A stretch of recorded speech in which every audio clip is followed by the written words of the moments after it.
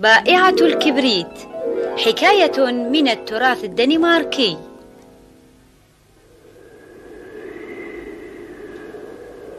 في يوم بارد جدا بارد إلى درجة التجمد حيث ساد المدينة ظلام دامس كان الجميع مبتهجين. طبعا فاليوم هو يوم عيد والجميع يسرع إلى بيته محملا بالهدايا.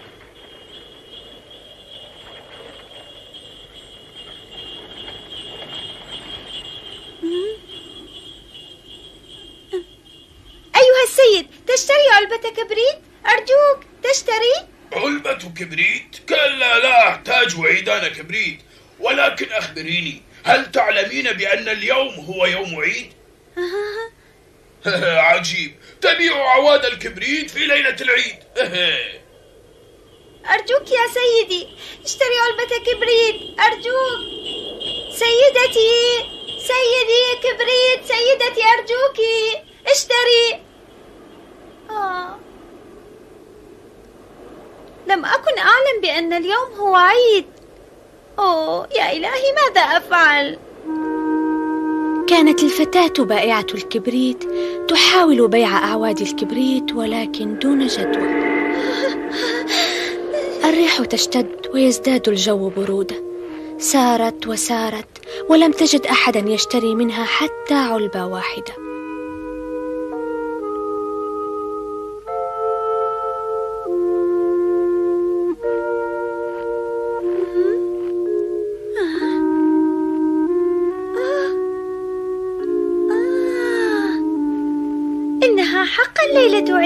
لهذا يبدو على الجميع السرور. نعم.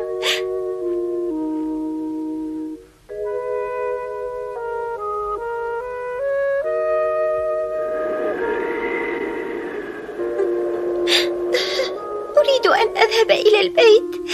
لا أستطيع السير بعد. إني جائعة. جائعة جدا. أوه يا إلهي. لا أحد يشتري علب الكبريت. إذا عدت إلى البيت سوف لن يغضب سيدي. نعم. سأذهب.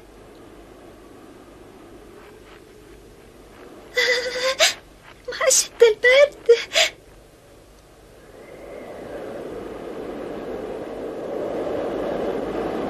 لن يغضب سيدي بالتأكيد لأن اليوم هو عيد. أنا متأكدة أنه لن يغضب.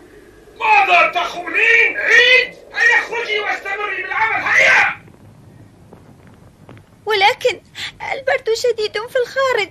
اليوم عيد ولا يوجد أحد في الشوارع.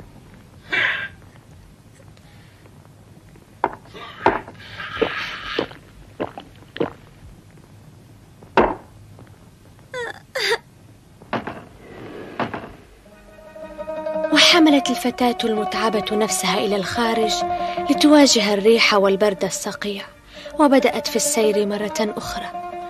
لا أحد في الشوارع. من المؤكد أن الجميع يحتفل بالعيد أمام المدفأة وتتصاعد رائحة الطعام اللذيذ في كل أنحاء المدينة.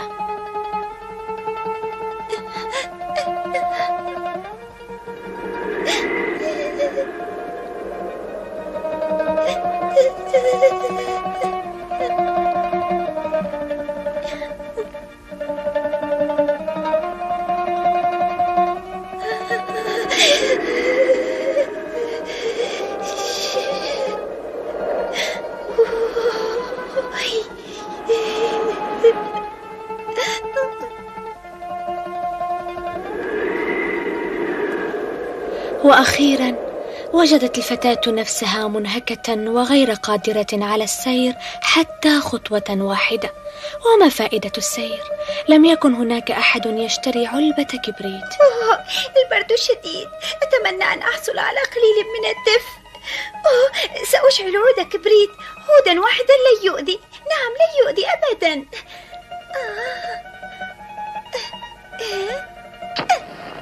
أوه ما أدفأه. إنه مثل المدفأة ما أروع يا للروعة يا إلهي.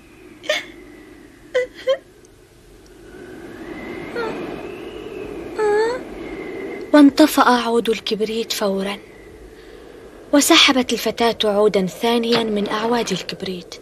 كان عود الكبريت هذه المرة أكبر شعلة وأكثر لمعانا ودفئا. أرجوك لا تنطفئ. أرجوك. وصلت الفتاة من كل قلبها. رأت الطعام الدافئ اللذيذ على شعلة عود الكبريت المتوهجة الجميلة.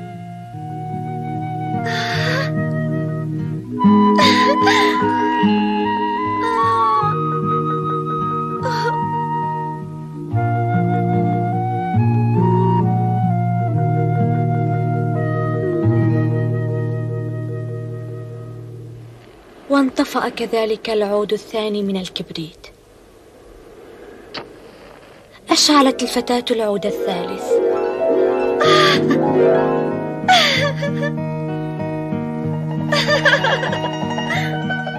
فكرت الفتاة بشجرة العيد.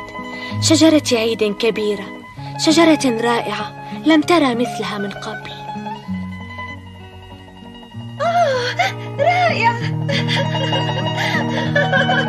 كانت الفتاة في نشوة كبيرة.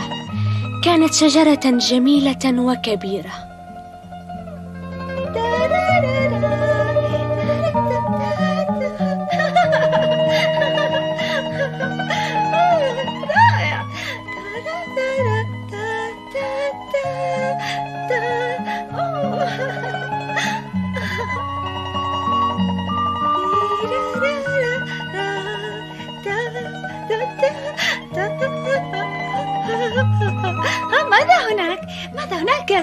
سأذهب لأرى آه إنها هدية إنها لي أنا آه إنها جميلة جدا سأفتحها آه. آه. آه. لا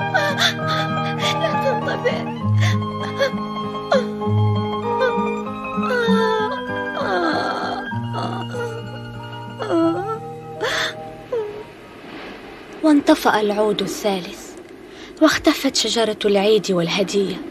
كانت الفتاة تحلم.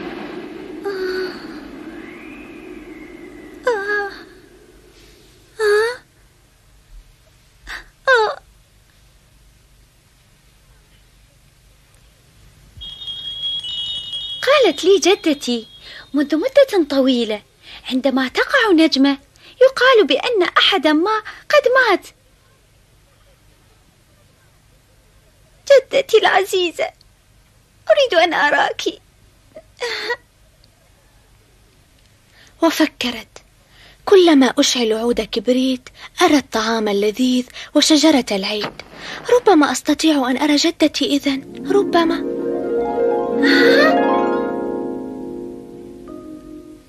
جدتي.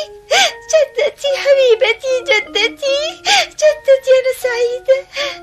سعيدة. جدتي كانت سعيدة جدا برؤية جدتها التي كانت الوحيدة المهتمة بها في الدنيا كلها. جدتي لا تذهبي.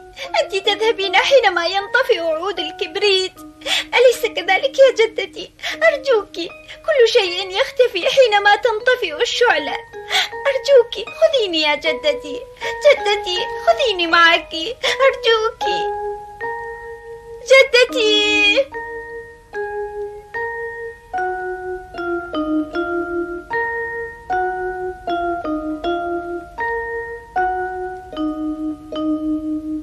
وصعدت روح بائعة الكبريت إلى الجنة بين أحضان جدتها الحانية.